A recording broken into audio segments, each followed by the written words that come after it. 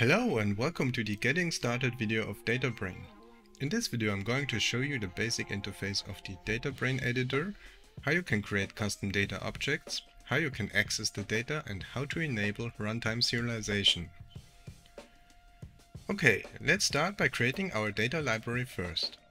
The data library is our main data container which stores all data objects. Right-click in the project view and select Create, DataBrain, Data Library. Double-click on the newly created asset. As you can see, a new window shows up. This is the main DataBrain editor, where you can manage all of your data objects. On the left side you can find all available data types categorized by namespaces and derived types. This might look a bit different on your setup, depending if you have installed other DataBrain add-ons.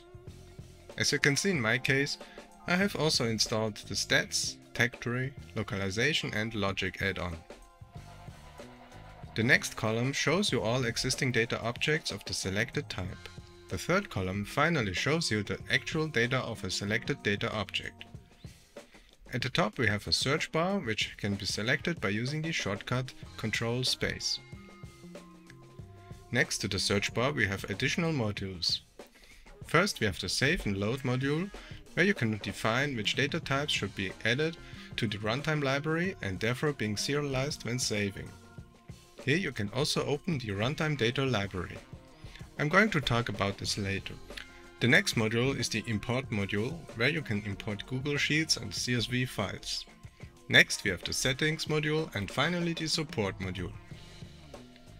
Now let's just have a quick look at the add-ons I've installed here. First I want you to show you the Stats add-on. The Stats add-on lets you easily define achievements, values, which can be modified with modifiers, and progression curves. Let's quickly check out the progression type. Here I can create a new player progression, for example, and set the max levels and max XP points and the progression curve, which defines the distribution of the points. The cool thing here is that I can visually see how the points are being distributed with this graph. The tech tree add-on comes with a nice editor which lets you easily create tech trees or skill trees. I can easily set some nodes and create dependencies as well as define the resources it costs to unlock new tech. It also comes with a UI builder component which can build the designed tech tree at runtime. Next we have the Logic Node Editor. The Logic Node Editor is basically a feature-rich high-level visual scripting editor. It allows you to create action flows within DataBrain. So for example, I can quickly check if a player has a certain item in his inventory or not. With the result node I can also set a result which will be passed on to the onComplete event of the graph. In this case here, true or false. It is also possible to run logic graphs directly without the need of a scene controller component meaning that the graphs can be executed inside of other data objects, as long as they don't require any references to scene objects. The logic node editor is very versatile and support quite complex graphs. Also custom nodes can be easily created, like a new C-sharp file in Unity. The localization add-on expands DataBrain with a powerful localization system, including a one-click Google Translation feature other add-ons do also profit from the localization add-on. So for example, you can easily enable localization support for the TechTree add-on, which enables localized titles and descriptions. For more information about each add-on, simply go to the DataBrain website databrain.cc. Alright, now let's create our first data type and data object. Simply create a new C-sharp file in your project.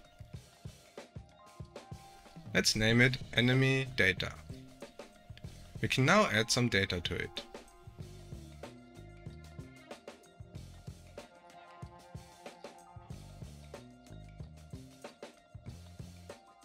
Now in order to make sure DataBrain can see our data object, we simply have to derive the class from data object instead of monobehavior. Save the file and wait for compilation. Okay, we can now open the DataBrain data library again. As we didn't added a namespace to our data class, we can find our data type in the global foldout here. Great, there it is. We can now start working with our data by creating a new data object of our enemy data type. Click on the Create button and name our newly created object. Each data object has a general tab which contains some default data such as the ID, icon, title and description. Now let's have a look at how we can actually access the data at runtime. Create a new script. I'm going to call it enemy. Open the script. In the script we can now simply add a reference of type enemy data.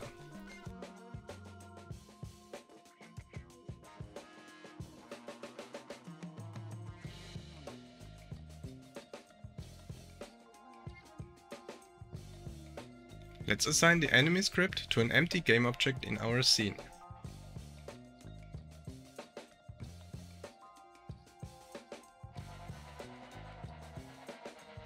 As you can see we have now a new empty object field of type enemy data.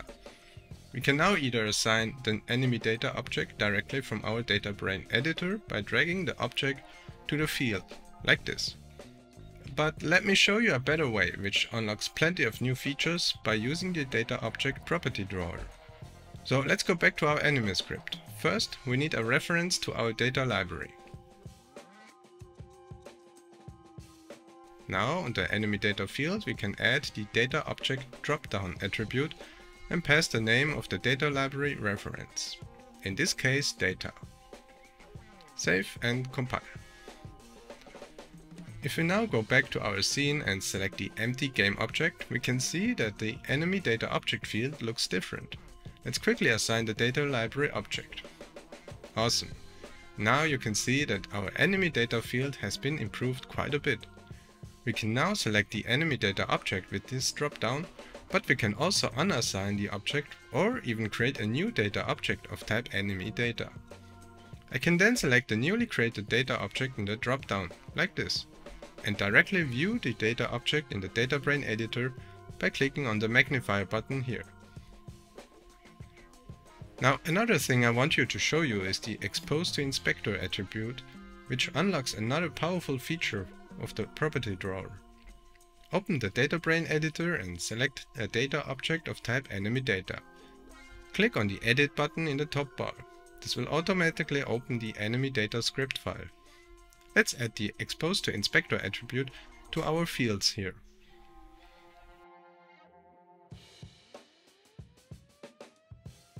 Save and wait for compilation.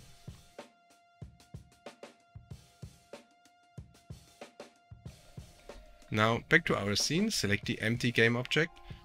On the property drawer we can now click on the button with the eye, which opens the inspector view. As you can see, all fields with the Expose to Inspector attribute are now visible here and can also be modified, so no need to open the DataBrain editor if you want to change some values. Now let's have a look at how we can access our data. Open the enemy script. First, in the start method, we have to make sure that our data library has been initialized before we can access any data. Then we can simply access our health data like this. Be aware that you shouldn't modify data from an initial data object, as they won't persist in a build. If you have data which is modifiable at runtime, you will have to make sure to add the data type to the runtime data library. To do this, simply open the DataBrain editor, select the Save module, look for the enemy data type and check Add to Runtime Data Library option. You can see by this icon here that this type is going to be added to the runtime library, meaning that at runtime all data objects of type enemy data are being cloned to the runtime data library. Those runtime data objects can now be used when modifying values. If we go back to our enemy script, we can now get the runtime clone and modify the health value like this. Of course, with DataBrain you can also create runtime objects dynamically, but I won't cover this topic in this video. If you want more information about it, please read the official documentation available at databrain.cc or check out the demo scenes. Now for the last topic in this video I want you to show you how to actually enable serialization of your data objects. We have already enabled the option add to runtime library in the save settings, meaning that our data object will be cloned automatically to the runtime data library. But our actual data won't be serialized as we didn't tell DataBrain which fields or data should be serialized. So to tell DataBrain which fields can be serialized, we simply have to add an attribute to our fields. Let's quickly do this. Open the enemy data file and add the DataBrain serialize attribute to our health, speed and position fields. Now our data can be saved and loaded. Let's try it out. In our enemy script I'm going to quickly add two simple IMGUI buttons for debug purposes. The first button calls the save method on our data library object and the second button calls the load method.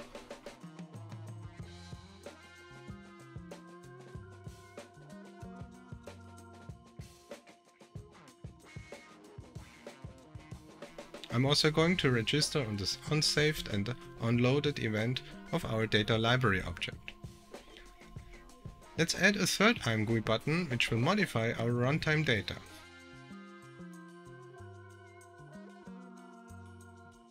And we're also going to add a reference to our runtime data object like this.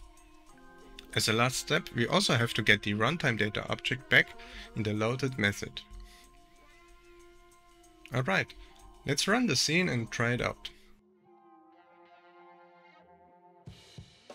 Now, when we select our enemy object, you can see that the inspector here now shows you the initial, but also the runtime data. Let's click on Save first. Now, let's modify the health value. As you can see, the runtime data has now different values. We can now load it back by clicking on Load. And yes, as you can see, the values has been loaded back. We can also have a look at the runtime library, which contains all runtime data objects. Here again you can also see how the values are being modified. Okay, great! This is it for this video. If you want to know more about DataBrain, the available add-ons or want to check out the documentation, simply visit databrain.cc or join our Discord server. Bye!